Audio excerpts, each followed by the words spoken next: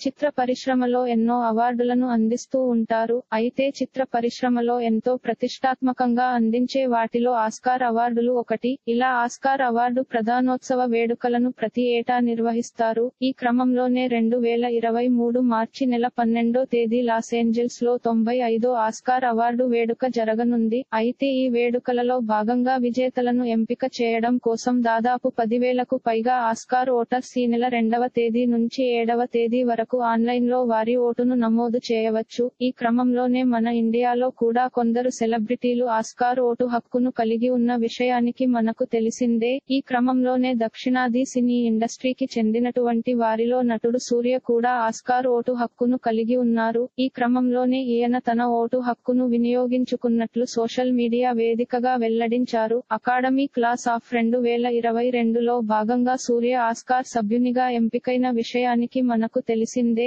ఈ క్రమంలోనే ఈయన తన ఓటు హక్కును వినియోగించుకున్నారు. నటుడు సూర్యతో పాటు బాలీవుడ్ నటి Kajol director screen writer Reema ఖక్తీలు కూడా ఆస్కార్ మెంబర్స్గా నిలిచారు. ఇక సూర్య తన ఓటు హక్కును వినియోగించుకున్నట్లు సోషల్ మీడియా వేదికగా తెలియజేశారు. ఇక సూర్య కేవలం కోలీవుడ్ ఇండస్ట్రీలో మాత్రమే కాకుండా తెలుగు సినిమా ఇండస్ట్రీలో కూడా ఈయనకు ఎంతో మంచి ఆదరణ ఉంది. ఈయన చేసిన సినిమాలన్నీ కూడా తెలుగులో డబ్ అవుతూ ఎంతో మంచి ఆదరణ సంపాదించుకున్నాయి.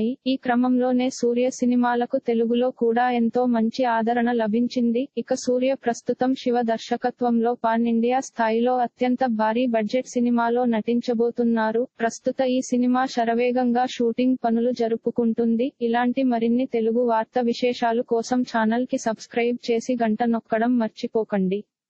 ఈ వీడియోని తోటి మిత్రులకి షేర్ చేయండి. మీ అభిప్రాయాన్ని కామెంట్లో తెలపండి.